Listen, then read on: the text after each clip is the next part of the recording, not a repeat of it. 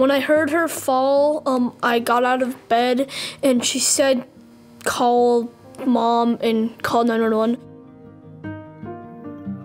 Hi, I'm Debbie Emery, and I am James's grandmother.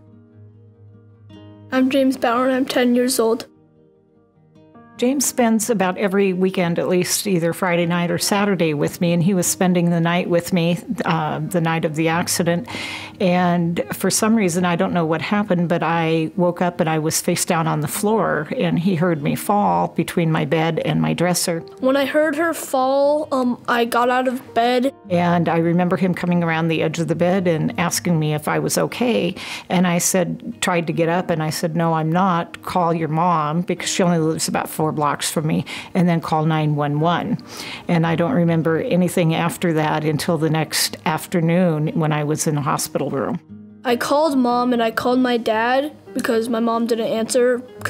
And then I called my dad, he answered. And then I called 911, and the 911 operator calmed me down and um, was very nice and told her my address. And then he got a blanket off the bed and covered me up because he thought I'd be cold and wanted to make me comfortable and waited until the ambulance and his mother got there. And I was taken to Mat-Su Regional Hospital.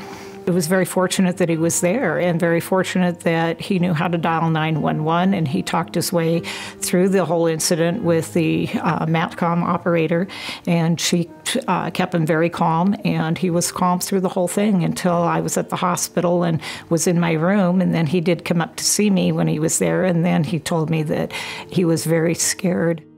Anyone could be in the position and anyone could do the same thing that I did. I don't know that I would be here talking to you or walking and speaking and being able to go back to work if it hadn't been for James.